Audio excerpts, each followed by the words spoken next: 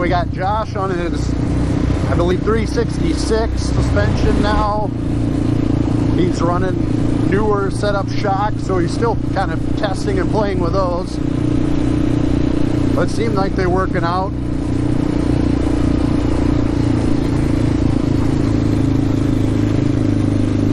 Now we're just running out, gonna just play around. Perfect uh, temperatures. Got cloud cover, a lot of dust.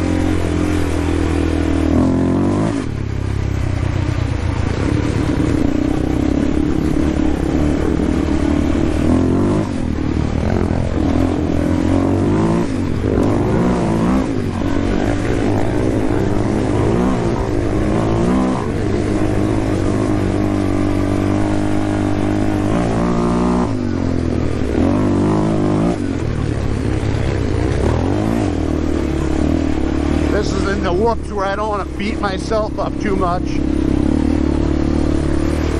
My knee is good, but it's not perfect.